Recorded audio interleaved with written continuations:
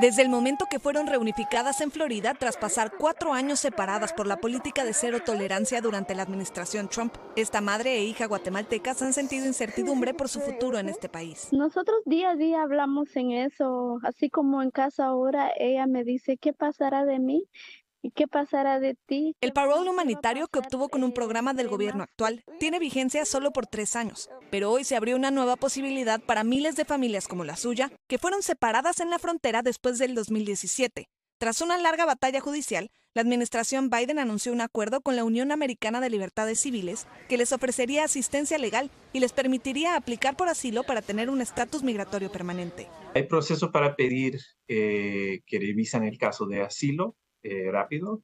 Em, y también cuando se revisan, se revisan con, con detalle y con atención a todo eso específicamente para esta población. El acuerdo, que aún debe ser aprobado por un juez federal en California, prohibiría durante los próximos ocho años que el gobierno federal aplique medidas similares a las que provocaron las separaciones. Eso es lo que nosotros anhelamos, pues, y espero que, que el gobierno, que que toque el corazón, que nos ayude. El secretario de Seguridad Nacional, Alejandro Mayorca, señaló que este pacto ayudará a reunificar a las familias en Estados Unidos y les ofrecerá recursos para enfrentar el trauma. El acuerdo también cubre a más de 290 niños ciudadanos estadounidenses que fueron separados de sus padres inmigrantes. Tienen el derecho a los mismos recursos, a la reunificación, a los servicios de salud mental. Adicionalmente, tendrían acceso a servicios médicos y asistencia de vivienda. Una vez que el juez establezca una fecha de audiencia, podrá escuchar objeciones de personas que se opongan a este acuerdo.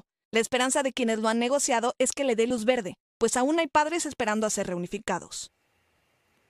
Muchas de estas familias también buscaron compensación económica, pero hace dos años el Departamento de Justicia abandonó abruptamente esas negociaciones. En tribunales civiles aún hay demandas en curso, pero la administración Biden ha estado peleando para evitar darles una indemnización.